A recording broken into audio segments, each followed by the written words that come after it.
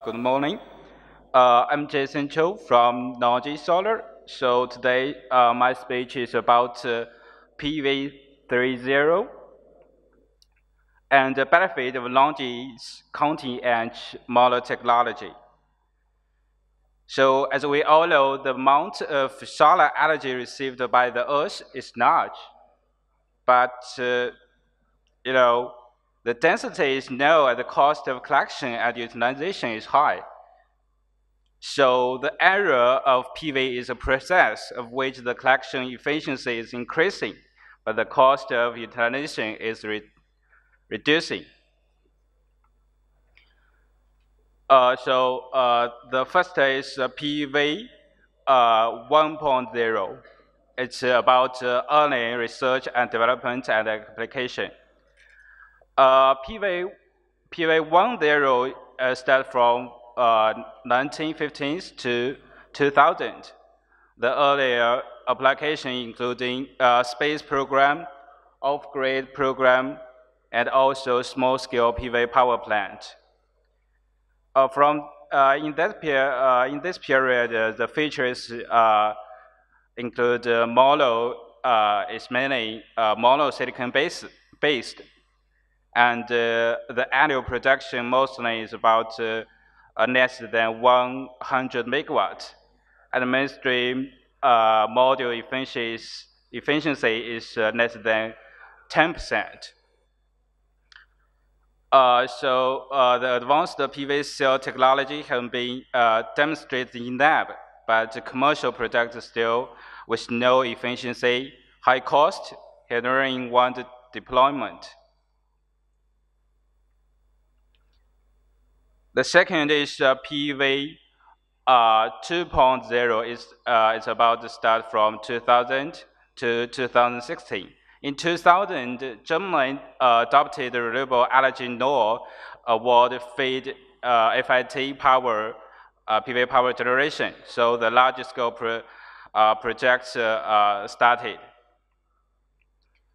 Uh, in this period, uh, uh, the accumulated global PV installation capacity increased from 2 gigawatt to uh, 300 gigawatt, uh, while the annual installation capacity increased from uh, 400 meg megawatt to 70 gigawatt. for the cost of PV projects is start from four dollar uh, per watt to uh, zero point four watt dollars. Uh, for the uh, uh, modules in this period is dominated by multi-silicon modules, and the mainstream module efficiency is from 10% to 80%.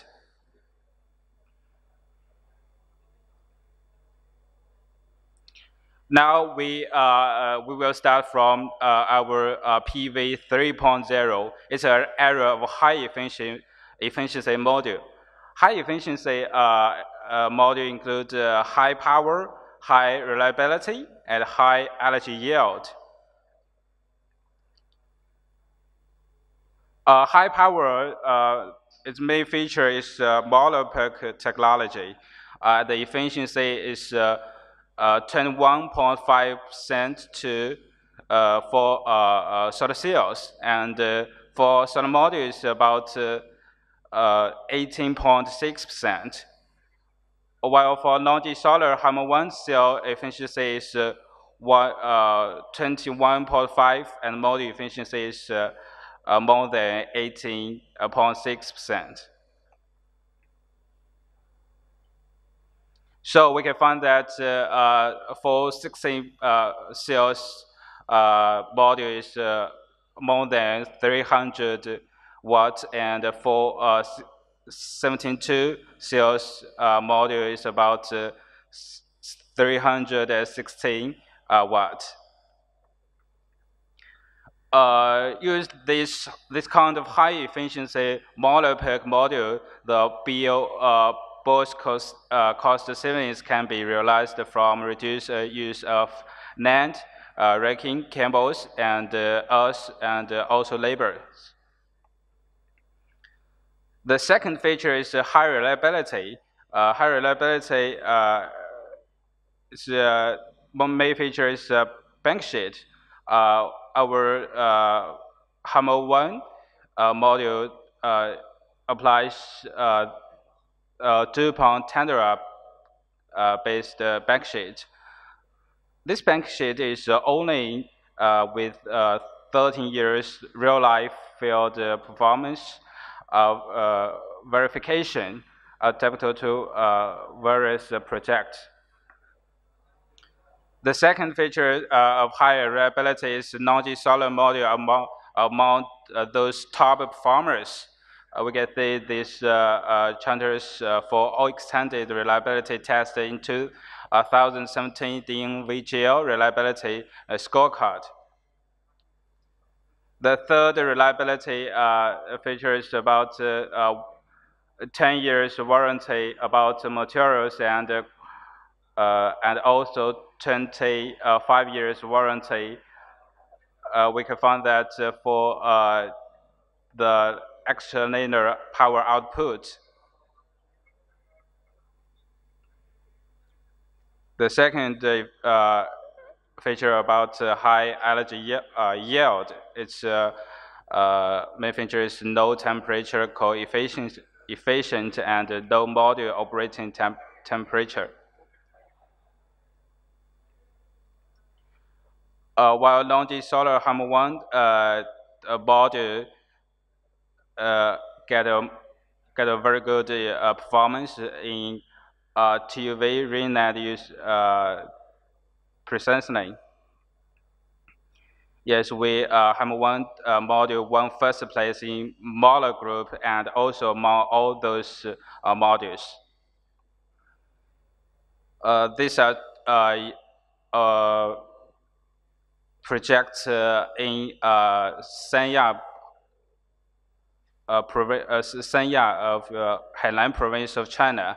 We found that uh, uh, with, we use uh, eight pieces Hi-MO 1 module at uh, 290 uh, watts to with uh, multi modules at uh, 216 uh, watts at uh, all but uh, first 1 uh, module supplier and also a 3 kilowatt uh, inverters, uh, the energy yield uh, calculation using measured module power.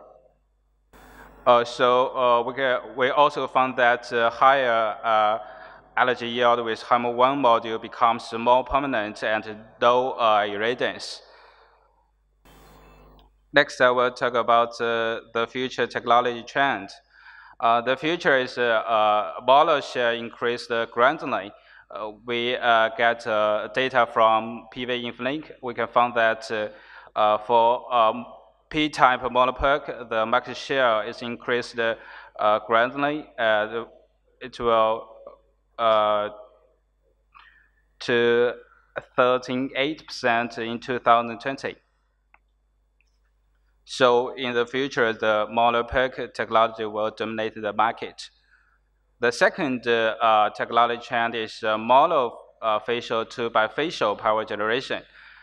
Uh, LONGi Solar Hi-MO 2 cell and module by bifaciality at uh, more than 17, 75%. It can significantly increase on energy yield because it's double glass uh, lamination. So a 13-year power degradation warranty. Yeah, here is a project uh, uh, located in Kubuqi, Inner Mongolia, China. Uh, the power generation in July by bifacial module plus tracker is uh, uh, 14.5% uh, higher than multi-module plus fixed uh, title. And 10% higher than multi at checker. Hi-MO 1 plus uh, checker is expected to generate 13% more power for uh, one whole year.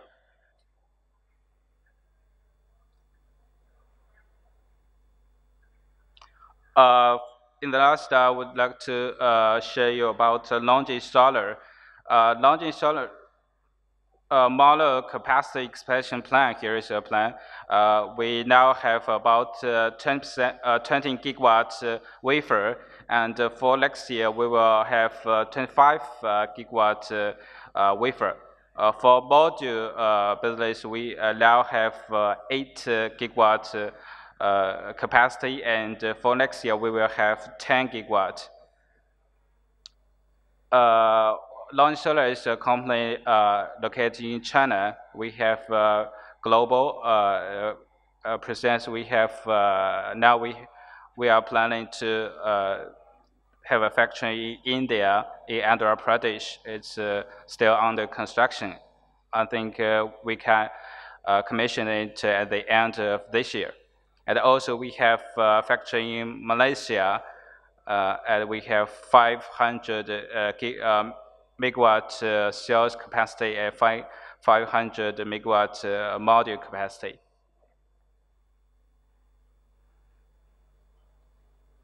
So uh, beside our capacity, uh, we can find that LONGi Solar's uh, financial strength, uh, we have a very strong financial performance recognized by the industry.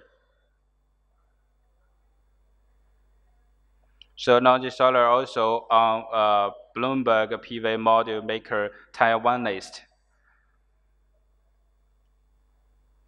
Uh, it's about our technology strengths. We have uh, about uh, 5 to 7 percent uh, total revenue is invested in research and de development. We have about 190 uh, patents uh, on ingot wafer cell and also module technology we have uh, 700 uh,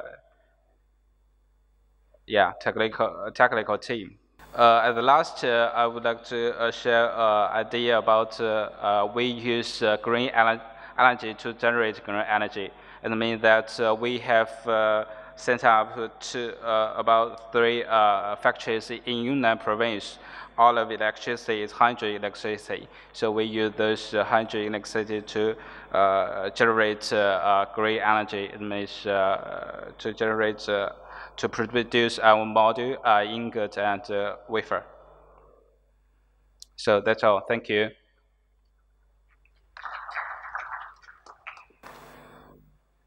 Thank you so much, Mr. Jason. Now I'd like to request Mr. Shailesh Vaidya to give his presentation and then we'll move forward with the panel discussion. Good afternoon, everyone. Uh, my name is Shailesh Vaidya. I'm from a company called Scorpius Trackers based in uh, Pune. Since time is short, I'll quickly run through my presentation and then we can uh, answer any questions. So Scorpius is a startup working in the solar tracking domain based out of Pune. Uh, we started four years ago and uh, as of now, we are the largest tracker company in Pune, in India. Uh, named as one of the top 10 in the world uh, by GTM. Uh, this year, we have, in addition to trackers, we'll be launching a robotic module cleaning solution and rooftop trackers as well. And uh, plans are to be pretty aggressively expanding in uh, various geographies across the world uh, in 18 and 19. why should one track the sun? the reasons are pretty obvious. when the tracker is working properly and the modules are pointing at the sun through the day, you get between 18% to 25% more energy uh, from the same modules. In India, typically we have observed an energy gain of up to 19.5% maximum in South India. Uh, 22 to 24% is observed in places like Egypt or Jordan or uh, Turkey. Uh, all this happens at a capex. So if the capex is not more than 8 to 12% of the plant capex, then trackers make a lot of sense. There's a significant improvement in IRR and also payback of the whole investment is uh, within three years for trackers. This is the primary reason why we would use trackers. I'll skip this slide. The, does video play? Oh, it doesn't matter. This is, this is a small video of a tracking plant, but I don't think it's playing. The, in the interest of time, I'll skip this. So primarily there are two types of uh, tracking technologies. Uh, there is a single row tracker in which there is a motor per table and there is a multi-row tracker or which is known also known as an array tracker which means multiple rows are connected by a central motor. So as of today, Scorpius is one of the few companies in the world to have launched both kinds of technologies, a single row as well as a multiple row technology. So we have now more than uh, 300 megawatts of uh, block trackers because we started off as a block tracker company. As you can see, there's a drive line here which is connecting all the rows together and all the rows move in sync with each other because of one motor pushing and pulling the drive line. But in a single row system, you have a few advantages that each row is controlled by a separate motor. That means during a module cleaning cycle, as you can see in the image below, the adjacent rows can be made to face each other so that the same cart can clean modules from both tables simultaneously. So we now have installed both types of uh, tracker technologies. There are a lot of patents and IPs filed because uh, Scorpius is essentially a technology company. We outsource all our manufacturing, but we hold a lot of global patents. One of them in the tracking is that each table from the north to south direction can have two or three bends so that contour of the land can be followed instead of spending money on leveling of the land. So a lot of IP in play at Scorpius. I think these two videos are also not playing, so I'll just skip this one. Uh, like I mentioned, we have a lot of plants in India and outside. We have a few plants running in Japan, in Palestine, in Africa. So we have installed plants in different kinds of geographies where there is snow, sand, dust, etc. Our product is life cycle tested. The bearing or bushing which we use is life cycle tested. 150 years of operation without any maintenance. So some things which worry customers when they think of trackers is will there be a lot of cleaning to do for the bushings or will there be O&M in the plant or what will be the installation cost of a tracker. So as of today the O&M on the mechanical side in a tracking plant is zero. You don't have to do any cleaning or any oiling on the moving parts. There's just electronics which uh, is installed additionally and electronics as you know is very robust. It's life cycle tested as per IEC standards. So trackers when selected properly are as good as installing a fixed tilt plant. We do a lot of uh, IoT solutions which are deployed along with our trackers for preventive maintenance of the plant and check the health of the whole system. Our tracker technology has now been uh, reviewed by Black & Veatch and uh, has gone through a very rigorous independent engineers bankability review which uh, looks at the company and the technology on various aspects on design and in manufacturability and performance. So that makes us one of the few companies in the world to have a bankability review done for trackers. Uh, like I mentioned, we have trackers in many uh, geographies. Uh, in 2018, we'll be doing a lot of projects in Southeast Asia, in Middle East, and in US and South America as well. We started off as a tracker technology company, but the plan this year is around September to launch a robotic module cleaning solution, which will be very unique. More details will be available soon. We have already commissioned a rooftop tracker uh, two years ago, and that's been under observation. Uh, in this June of this year, we'll be launching a very nice uh, rooftop uh, tracker. And integrated BOS, I'll talk about in my, uh, I can talk about offline. So that's about it now. I will go ahead with the panel discussion, I think. Thank you.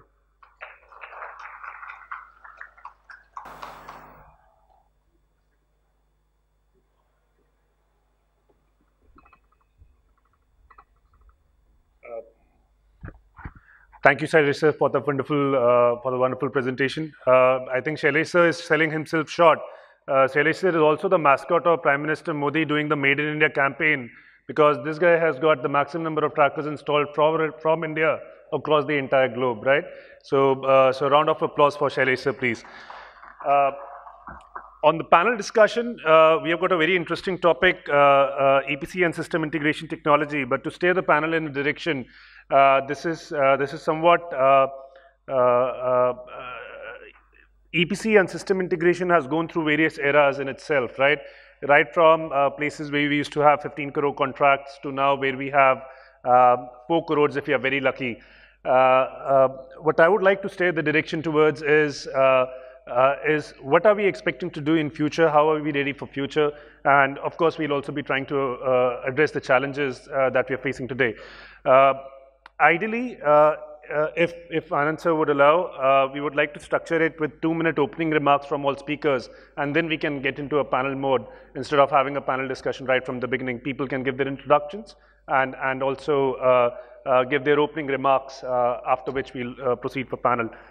since I've been given the privilege to be the moderator, so I can choose to be the first to go there are clear trends which are emerging uh, in the EPC uh, system integration O&M space when it comes to solar. Uh, the first trend that we are seeing uh, is very interesting, which is globalization. People are looking at global portfolios and not only Indian portfolios nowadays. Uh, whether you have a Sterling Wilson, uh, which is having 3 gigawatt India portfolio, 5 gigawatt India portfolio next year onwards, whether you have an Adani, which is building projects in India and Australia, a SoftBank with 3 gigawatt in Saudi Arabia, or even operation and maintenance companies like ourselves with our partners in presence in 35 countries. So increasingly we are seeing that there is a globalization of, of uh, uh, supply, of value chain right from the development to the uh, EPC to the operation and maintenance which is happening. Uh, another trend that we are seeing as a part of, uh, partially as a part of globalization is that the players are increasing in size, which means there's also a level of consolidation which is happening. Uh, we, are, we were having a lot more IPPs earlier than we have right, right now.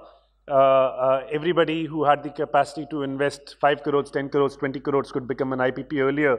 It's much difficult to do that right now. Uh, uh, we are having a lot less EPC supply contractors than we used to have right now. Uh, and same applies to everything else. So this is also a phase wherein we'll see the sizes of a limited number of companies grow very large and the other smaller companies will keep on getting acquired. So that's the, that's the second trend. And the third trend, which is almost synonymous now with, with solar, is uh, the trend of cost reduction. We have seen cost reduction in tariffs. We have seen cost reduction in costs, uh, EPC cost. We have seen cost reduction in operation and maintenance cost. And, and uh, these things are not going to go away. And just to have some data to back it up, uh, these things are not specific to India, although we see ourselves as the champions of cost reductions globally. But if you look at the markets in Italy, Spain, Holland, uh, Saudi, and then uh, we talk about India, these cost reductions are even steeper in those geographies because India uh, came, uh, India saw solar only in 2009, 2010 onwards because those geographies have been seeing solar for the last 15 years, 20 years or more. So the cost reduction curves have been even more steeper in those geographies than what we have seen in India. Another interesting part where the Indian parts are converging with the global parts are also in terms of the inflation indexes. So far, it was always assumed that uh, uh, things in India get costlier faster, and that's why we need to have much higher uh, in, uh, escalations. Whereas what we are seeing actually is that Indian inflation rates have gone down in the last couple of years quite a lot.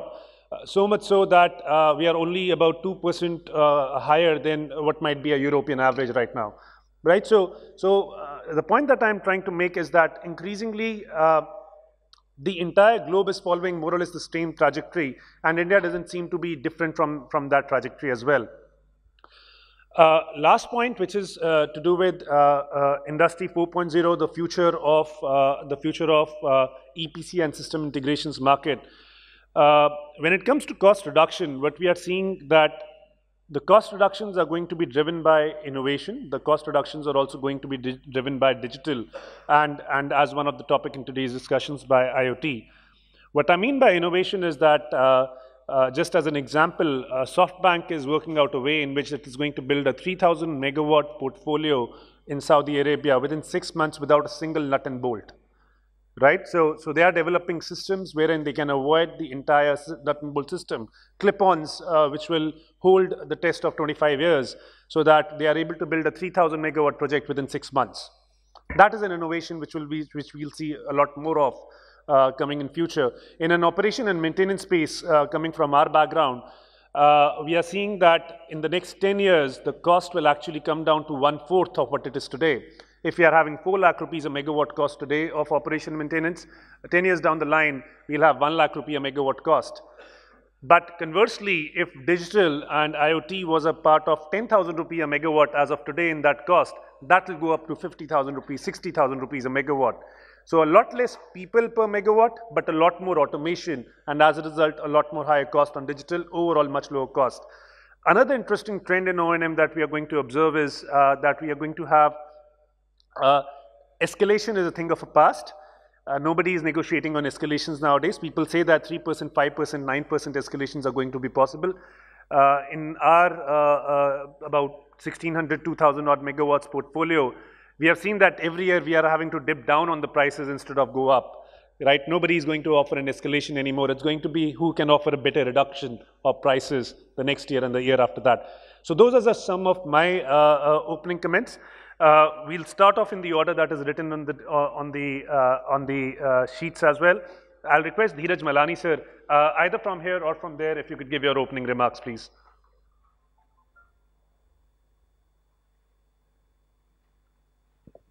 Hello. Yeah. Uh, hello, everyone. I'm Dheeraj Malani. I'm taking care of the business development for Mahindra Susten. We are the part of the Mahindra Group and uh, we started Mahindra Susten somewhere six years back and uh, now we have a portfolio of 1.6 gigawatt plus in India. Uh, we are in various supply chains of the solar industry. We are into the development arm, we are into the EPC business, we are into the solar products business, that's the solar tracker. We have our own in-house developed SCADA system, string monitoring boxes and various others. Apart from this, on the rural side also, we have developed some of the products like the solar dustbin and the e-cycle, which is there in uh, under Proto right now. Uh, uh, so other than domestic business, now we have expanded ourselves in the international space as well and recently secured some two very big size uh, projects in uh, Sakaka and Bangladesh. So that is all about the Mahindra Susten. And uh, I think Puneet has portrayed the entire picture of, of the solar industry here uh, in, a, in a very right fashion. What I would like to add upon here is, going forward, we are going to have very big size of the individual solar projects going to be set up at a single space. As the past speakers have said that land is going to be a very, very critical factor because the timelines which are there uh, for the execution of the project is almost the same whether it is a solar park based project or a non-solar park based projects. So I think that need to be reviewed that uh, if it is a non-solar park based projects, the timeline should be such that the land acquisition can be possible in the time frame which is provided because you see if land is not completed, your next step cannot be triggered. Uh, so that's from the land part and uh, executing the bigger size projects. I think on the supply chain side also we have to think over. We have to develop such a robust uh, supply chain management, the skilled labors and other systems so that there would be no slippages in the timelines required to execute such projects. Thank you. Thank you, thank you, Dheeraj.